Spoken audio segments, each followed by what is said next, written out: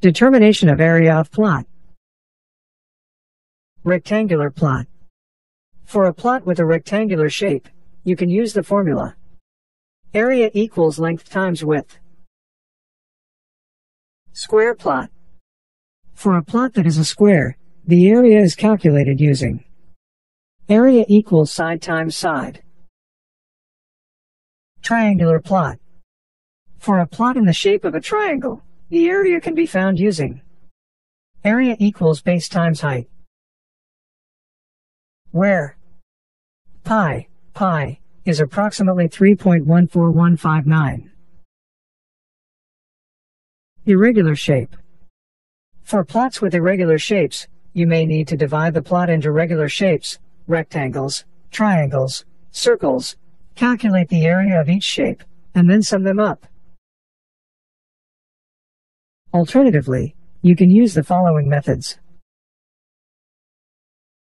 Grid method. Overlay a grid on the plot and count the number of grid squares inside the plot.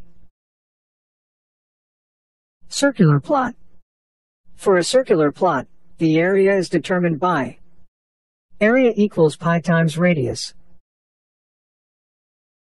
Geometric approach. Use formulas for composite shapes if the plot can be divided into known geometric shapes.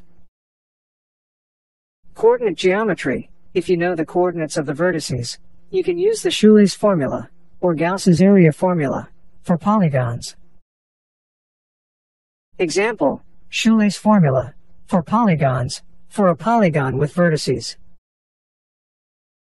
x1, y1, x2, y2, xn, yn, x1 comma y1 comma x2 comma y2 comma xn comma yn comma the area can be calculated as area equals half x1 y2 plus x2 y3 plus plus xn minus 1 yn plus xn y1 minus y1 x2 plus y2 x3 plus plus yn minus 1 xn plus yn x1 If you like this video, kindly do subscribe Civil Engineering Shylus Updates. Thank you.